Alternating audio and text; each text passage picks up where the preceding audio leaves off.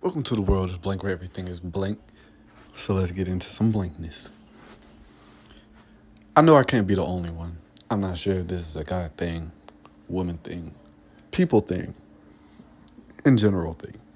But when it comes to things like art or scenery, you know, things that uh fall along the line of aesthetics, I can appreciate the fact that uh things look nice. You know, it's very appealing to the eyes. It looks it looks good, right?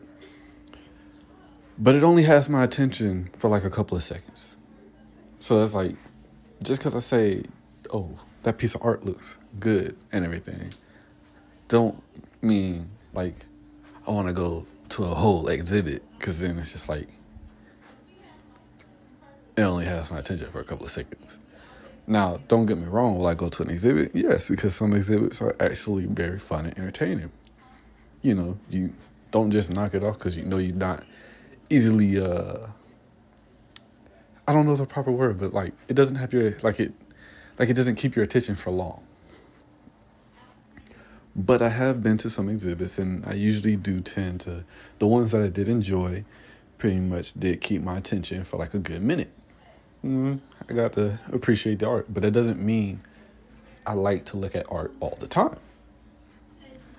So I'm not sure if this is everybody thing, but it's like, yo, art, beauty itself, you know, whatever it is,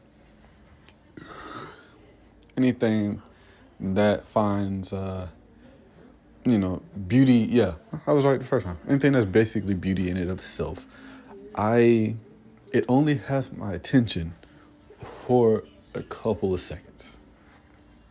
If I'm staring at it, it's and I'm in a situation, it probably serves more as a distraction than appreciation. I'm not really appreciating this art. It's probably the most entertaining thing out of the thing that I'm doing. Like if I'm just sitting at a table and there's nothing in the room except for a painting, I will look at the painting probably imagine some stuff going on with the painting. Probably alter the painting in my head. You know what I'm saying? Because it's something entertaining compared to what I'm doing. Doesn't mean what I'm doing is boring.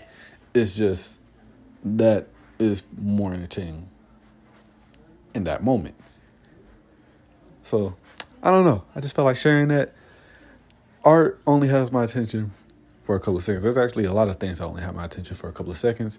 The only thing that usually tend to have my attention for a decent amount of time is human interaction, watching human interaction, um, video games, anime, mangas, uh, reading books, you know, simple stuff like that. At home stuff, stuff uh, you watch from a distance, stuff you get into with your friends and stuff.